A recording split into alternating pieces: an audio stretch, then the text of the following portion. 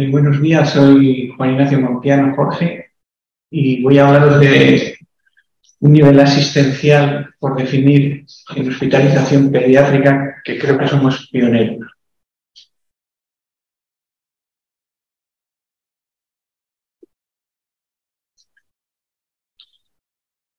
Primeramente os hablaré de los inicios de cuando fundamos la Sociedad de Pediatría Hospitalaria que ahora es referente de la pediatría interna. También os hablaré de la oxigenoterapia de alto flujo en plantas de hospitalización, que la llevamos utilizando desde, desde 2009, y de un nivel asistencial por definir en hospitalización pediátrica que hoy ya sí tiene nombre. Luego os hablaré de nuestra casuística de, en urgencias, en hospitalización y en pediatría de cuidados intensivos y finalmente os hablaré de las conclusiones.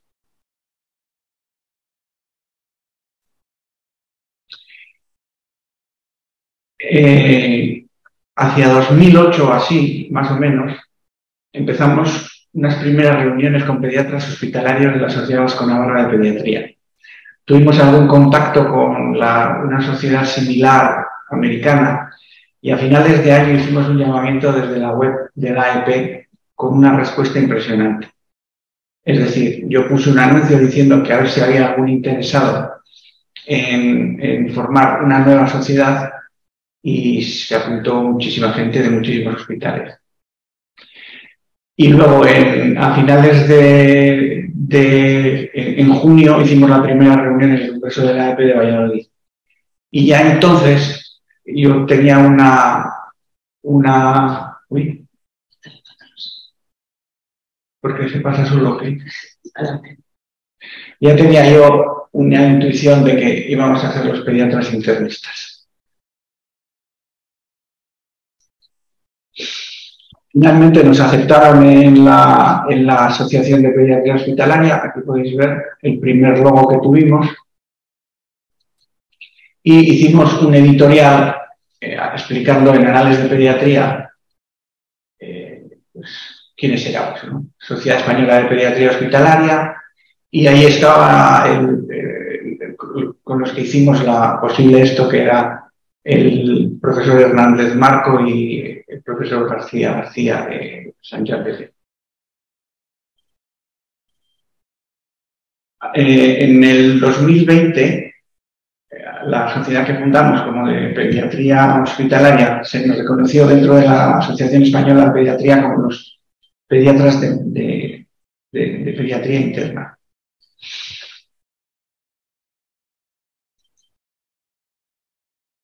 En 2009 gracias a, la recomendación de los intensivistas del Hospital de Cruces, empezamos a utilizar la oxigenoterapia de alto flujo en planta de hospitalización. Eh, publicamos un artículo en el, en, el acta pediátrica, eh, oxigenoterapia de alto flujo en cánulas nasales en una planta de hospitalización.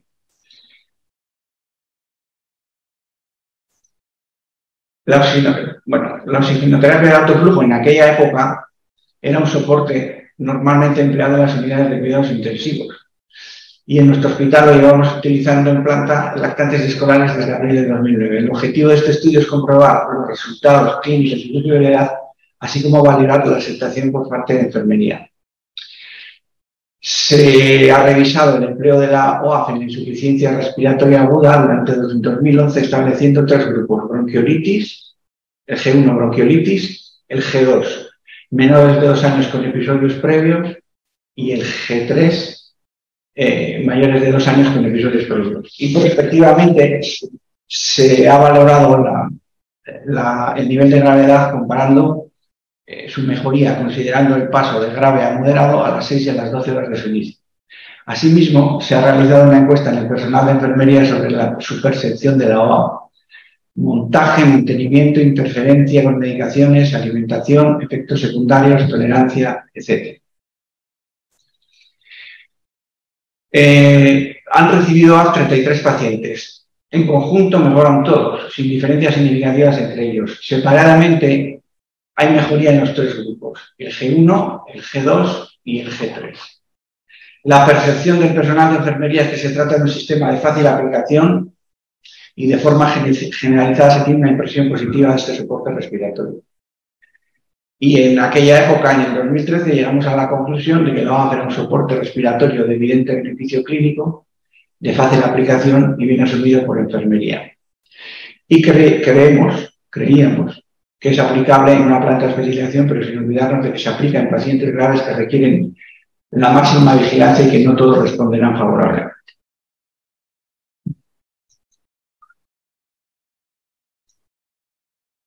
Eh, posteriormente, la doctora Salado y, yo hemos participado en, en, el protocolo de oxigenoterapia en planta de hospitalización que está en la Sociedad de Pediatría Hospitalaria, hoy referente a la pediatría interna. Y finalmente, el miedo para atrás, Y finalmente se ha, publicado un estudio y un metaanálisis de la eficacia y seguridad de la oxigenoterapia nasal de alto flujo para niños con bronquiolitis.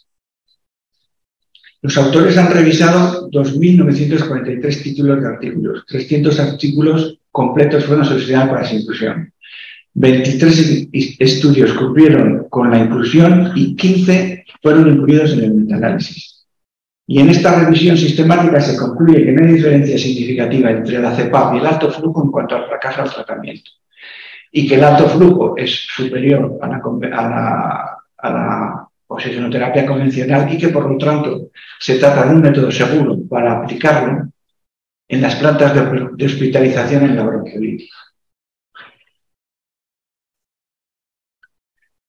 Bueno, nosotros teníamos la sensación desde, siempre que en la planta nuestra de hospitalización había, hay una serie de pacientes que necesitan más cuidados de los habituales para una planta de hospitalización. Entonces nos ocurrió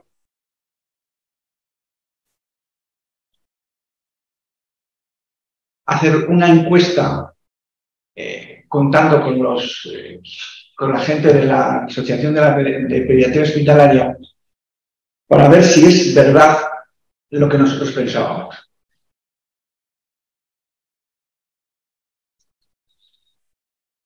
O sea, la, idea era que hay unos pacientes que se atienden en planta de hospitalización que requieren mayor vigilancia que la habitual y, y, después de una búsqueda bibliográfica extensa y encontrar pocas referencias que se plantean, se realizó de forma complementaria una búsqueda en nuestro entorno más próximo para ver si es un problema que se suscita en reuniones y congresos.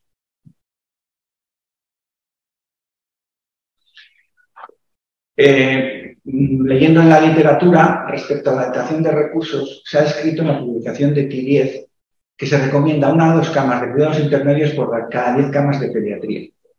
Los recursos y equipamientos descritos dependerán de la oferta asistencial variando del tipo de hospital. Sobre los mínimos asistenciales, la recomendación publicada es que al menos se atiendan 100 pacientes al año con estas características.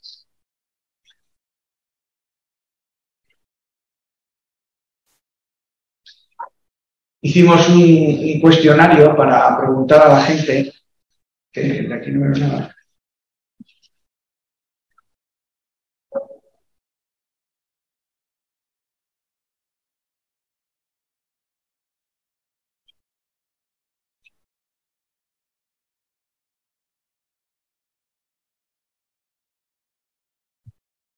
para preguntar a los compañeros de la Asociación de Pediatría Hospitalaria qué tipo de asistencia al paciente crítico hay en su hospital. Se solicita saber si hay una UCI y de qué nivel asistencial, si hay una unidad de cuidados intermedios independiente de la UCI y si hay estabilización pediátrica. Si no hay cuidados intensivos en su hospital, la distancia en kilómetros al centro de referencia. UCI es, se solicitaba la distancia en kilómetros. Refiere al número de pacientes que ingresan en planta. Se solicitaba una media de estos últimos años. Refiere al número de pacientes que se trasladan a intensivos. Se solicita una media de estos últimos años.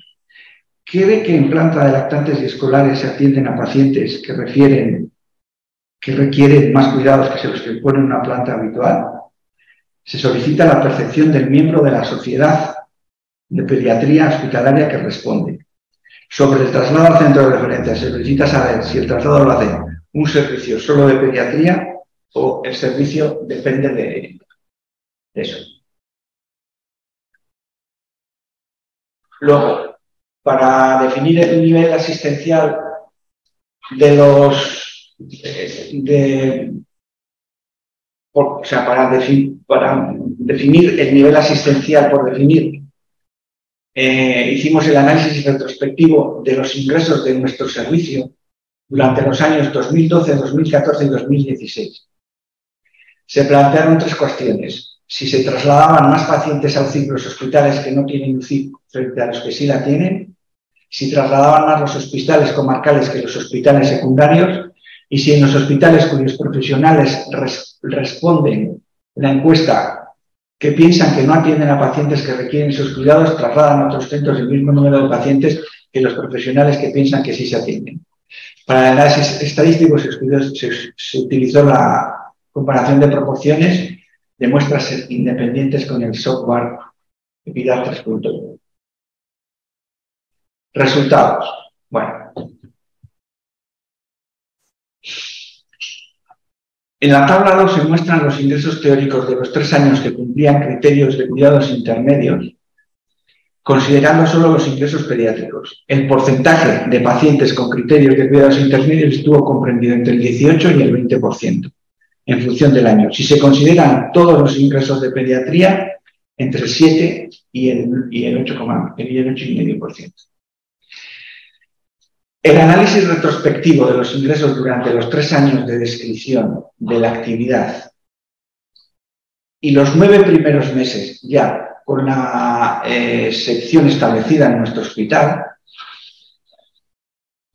se, hizo una comparación de los resultados teóricos analizados en el hospital en la previsión, eh, en la revisión histórica de los años anteriores y se compara con los nueve primeros meses de actividad real de la sección, viendo que no hay una diferencia significativa.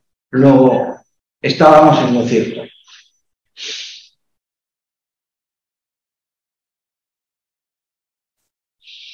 Luego, en la tabla 4 se muestran los ingresos en planta de los tratados OXID de los de los tres últimos años desde las propias plantas y los resultados de las cuestiones planteadas.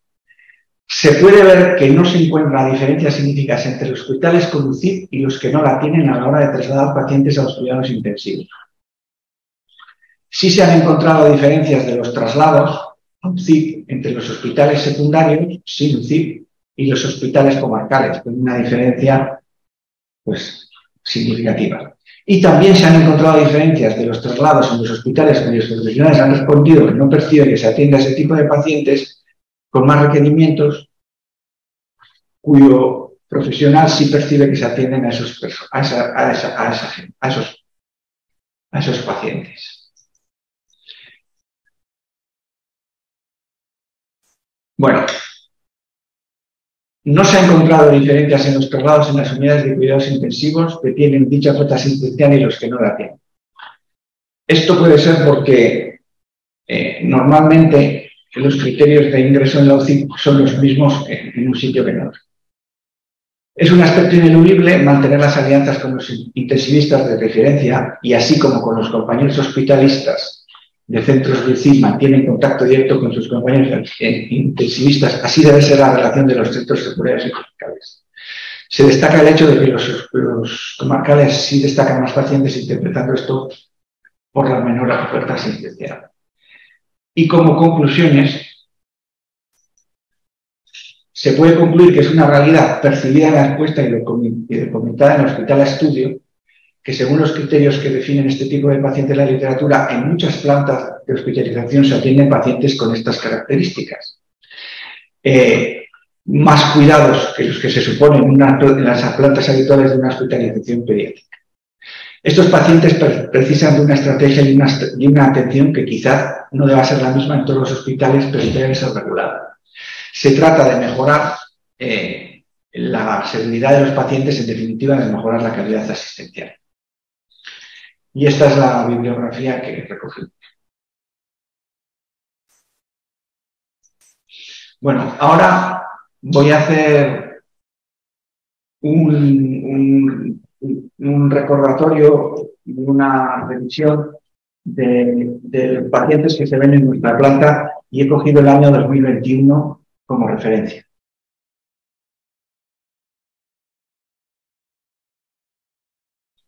Primero vamos a hablar de las urgencias. el sistema de asistencial de urgencias consiste en la estabilización del paciente grave, las urgencias pediátricas médicas, las urgencias pediátricas de traumatología, las observaciones cortas y la sedación en procedimientos quirúrgicos de interés. Aquí vemos eh, en los tres últimos años, estos dos años son de pandemia y los datos han sido menores,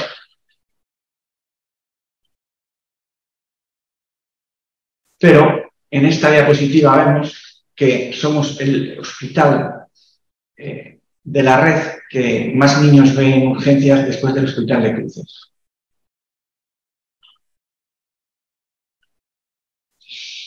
A fecha del 3 del 10 de 2022 llevamos vistos 26.000.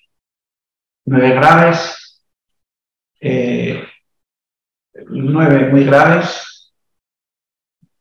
graves 329, moderados 5.144 y comentar que ya en el PAC no se ven niños menores de 14 años. Ingresos en planta. En planta no solo ingresan niños de pediatría, ingresan niños de cirugía general, de maxilofacial, de otorrinolaringología, de traumatología, y también tenemos lo que es el hospital de día, que son casi 300 niños de pediatría y 195, por ¿no? 195 de... Bueno, ahora vamos a hablar de los cuidados intensivos.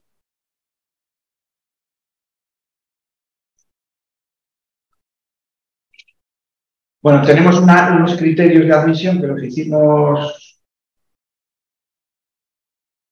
al principio, están colgados en compartidos, y luego nos basamos un poco en, en Jaime, que es un, pediatra que se visto, de, de admisión que están colgados en compartidos. Esta es la situación actual, que tenemos habitaciones con posibilidad de motivación centralizada, atención lactantes, cuatro escolares y la habitación 116 que la mantenemos como una habitación de estabilización. Esta es la evolución desde que empezamos en 2017.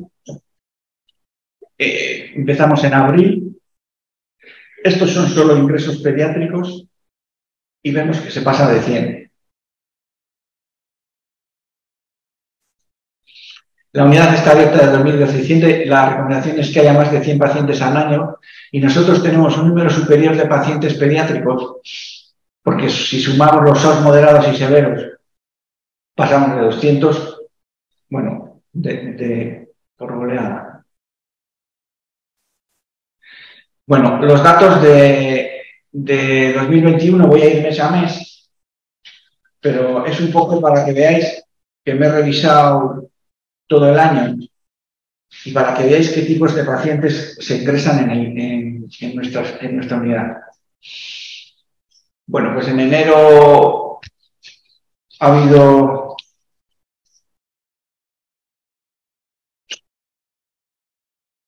voy a ir poco a poco.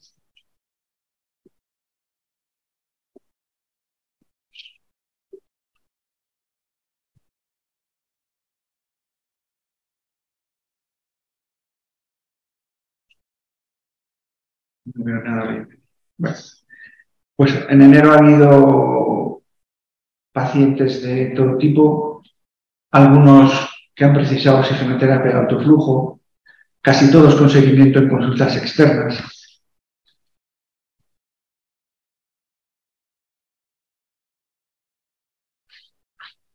En febrero también ha habido pacientes con... No veo nada de aquí. Bueno,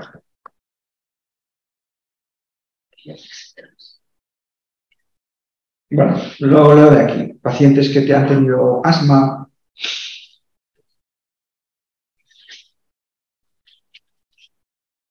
En marzo eh, sospechas de bacteriemia, estatus convulsivo.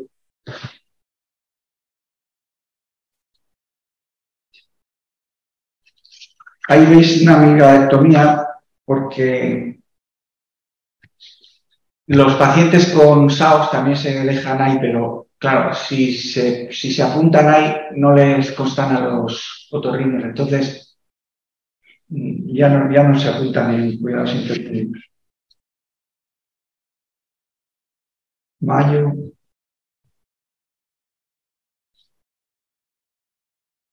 Junio. Este año ha sido un poco diferente porque con el COVID y, todo eso ha habido insuficiencias respiratorias en épocas que normalmente no tenemos. Julio, también veis que hay dos o tres pacientes con OA. Agosto. Ya en septiembre la cosa empieza a complicarse octubre, noviembre y diciembre. Vale. Como resumen, eh, la insuficiencia respiratoria aguda ha sido el, más, el, más, el más frecuente. Las crisis convulsivas, eh, los de diabetes están más días porque se requiere un aprendizaje de la familia, las intoxicaciones, la sospecha grave de infección y luego los otros tres ingresos, los otros 66 ingresos, pues hiperamonemia, síndrome leticurémico, ileitis, policontusiones, sarcoma.